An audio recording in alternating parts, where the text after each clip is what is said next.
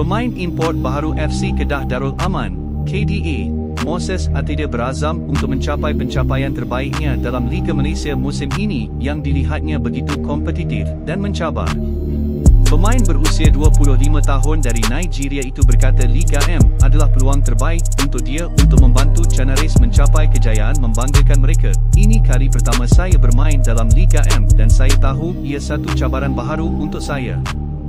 Tetapi saya berazam untuk melakukan yang terbaik di sini. Bagi saya, Liga M adalah liga yang sangat kompetitif. Saya tidak tahu kualiti Selangor, kata bekas pemain tengah Al-Muharraq, sebuah kelab dari Bahrain yang memenangi Piala AFC pada 2021. Pusat dan pertahanan adalah tugas utama saya seperti yang dirancang oleh pasukan. Jadi saya perlu melakukan yang terbaik untuk dapat mengukuhkan kedudukan ini, katanya selepas sesi latihan pertamanya bersama KDA Di Sultan. Stadium Abdul Halim, di sini malam tadi.